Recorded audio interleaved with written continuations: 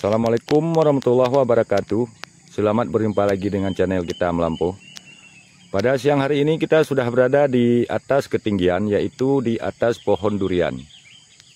Dan pada hari ini kita mau melakukan penyemprotan buah durian supaya duriannya tidak diganggu penggerek buah. Jadi kita perlu melakukan penyemprotan dengan menggunakan insektisida juga menggunakan PPC dan fungisida. Ini penyemprotan ketiga ya. Sewaktu berbunga dulu sudah kita semprot dan sebesar bola pempong juga sudah kita semprot. Nah ini pada hari ini kita melakukan penyemprotan yang ketiga. Buahnya alhamdulillah sudah besar ya. Nah seperti ini. Ini fungsinya kita semprot pada hari ini supaya buahnya nanti tidak busuk dan tidak diganggu hama penggerek buah. Dan juga kita kasih pupuk supaya nanti waktu pengisian buahnya ini, waktu pengisian daging buahnya, daging buahnya nanti manis. Makanya kita berikan pupuk pelengkap cair dan juga kita berikan fungisida supaya duriannya nanti bebas dari hama dan penyakit. Penyemprotan durian setinggi ini memang sangat sulit ya. Tapi untuk menjaga kualitas buahnya kita tetap harus menyemprot.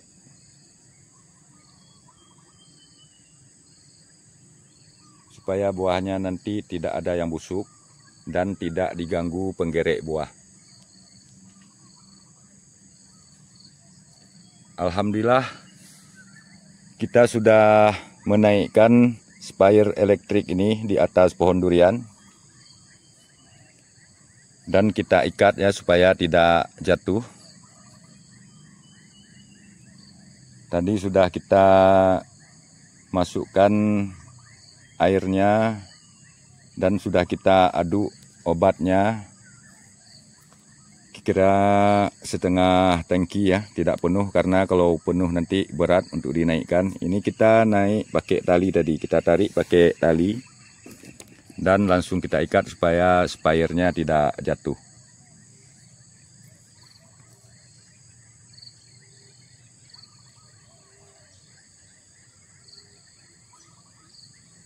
Oke selanjutnya kita semprot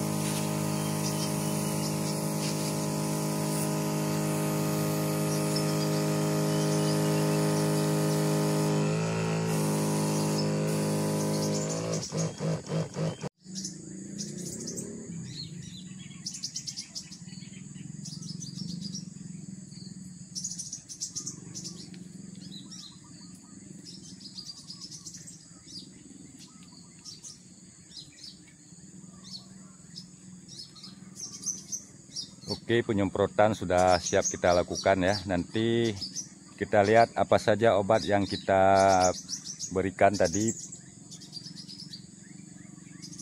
Dan obat apa saja yang kita berikan pada durian yang lagi sedang berbuah ini.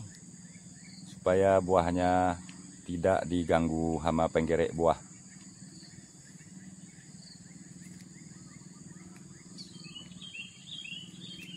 Nanti kita lihat ya. Supaya buahnya super-super makanya perlu kita lakukan penyemprotan. Ini sudah penyemprotan ketiga. Yang pertama dulu sebelum mekarnya bunga kita semprot. Dan sebesar bola pempong ada juga kita semprot. Dan ini sudah besar hampir sebesar kelapa buahnya ya. Nah, kita semprot juga. Supaya buahnya super mulus-mulus ya, tidak ada yang rusak. Nah, oke, okay, inilah obat yang kita pakai tadi. Untuk membasmi hama penggerek buah, kita menggunakan King Crown ya, King Crown 500 isi. Kita menggunakan 1 mili dalam 1 liter air. Kita menggunakan King Crown. Dan juga kita menggunakan pupuk untuk buah ya pupuk untuk buah. Kita menggunakan Gardena B Gardena B dengan unsur NPK nya nitrogen 6% fosfat 32 dan kalium 35% kita menggunakan 2 gram per liter air. Nah juga tidak lupa kita memakai fungisida. Kita menggunakan fungisida yang berbahan aktif Mencozeb ya. Nah ini fungisida Mankobat ini jadi kita menggunakan dalam satu liter air kita menggunakan 2 gram ya, 2 gram dalam satu liter air. Dan juga kita tidak lupa memakai perekat. Kita memakai perekat santer ya. Kita juga menggunakan 2 mili dalam satu liter air. Jadi tadi empat macam ini kita aduk untuk penyemprotan buah durian kita.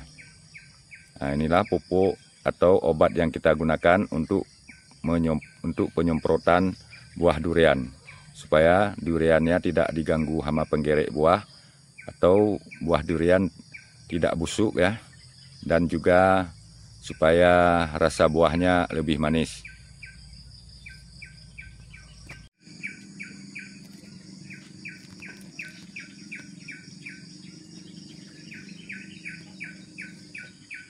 Ini durian montong. Alhamdulillah buahnya cukup besar ya.